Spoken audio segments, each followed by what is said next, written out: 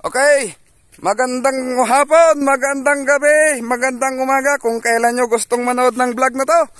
Nandito tayo ngayon sa ating leader ng Vatican team. Tingnan po natin kung ano ang kanyang ginagawa.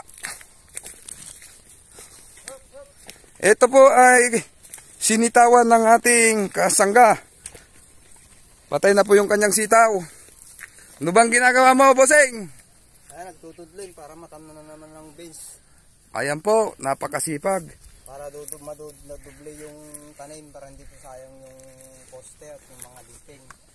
Ito po si Gretchen. Kasalukuyan pong nagtatrabaho. Sige, tuloy nyo lang po.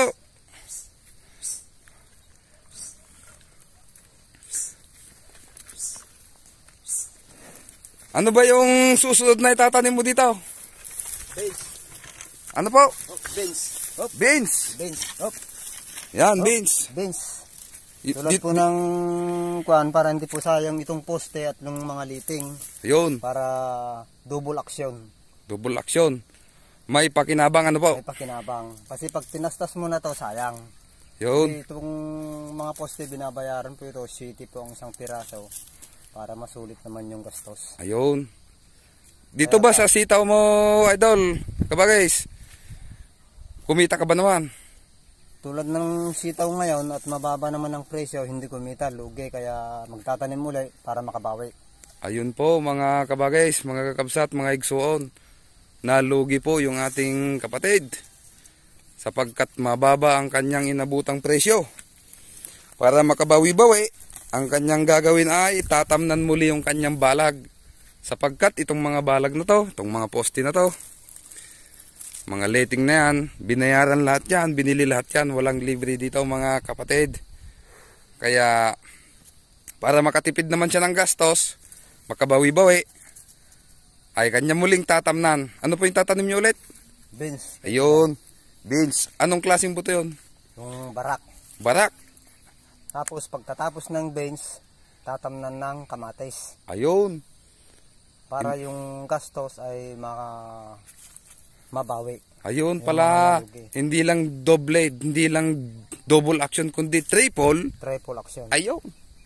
Napakainam. Para masulit itong mga poste at mga liting. Ayun, napakainam ng plano ng ating kabagays. Sana ah kumita naman siya para makabawi-bawi sa kanyang lugi. Para yung kanyang kasama ay kumita rin na kapwa. Sapagkat ka karamihan po dito sa amin yung mga nagsitaw na nauna, kasabayan po nito ay halos napunta lang lahat ang pinagbilhan mismo sa katawan ng sitaw. Kaya halos wala silang kinita mga kaibigan, mga kabagays. Okay po, dit bago po tayo magtapos sa ating video, ano po ang pinakauling masasabi nyo sa inyong paggugulay? Ang sasabi ko lang naman sa mga kasama kong magugulay, kung sakali man na nalugi sa unang tanim, eh magtanim uli para makabawi. Ayun, Ang umaayaw ay hindi nagwawagi. ayun, yun. Kaya laban tama. ulit. Tama po yun, tama. Kaya sa ating mga video, mga idol, ituloy-tuloy lang po natin yung ating pagsubaybay para makita po natin ang iba't ibang uri ng gulay na aming itinatanim dito. Ano ba yung mga gulay na pwede dito sa aming lugar? Kasi tinatawag itong upland. Nandito kasi kami sa Tumana, malapit sa bundok. Halos paanan kami ng bundok. Tingnan nyo po kung ganun din ang lugar po ninyo. Para ma-apply po ninyo kung ano po ang mga dapat nating gawin. Pwede ninyong gayahin ng mga teknik namin dito. Pwede din namang hindi.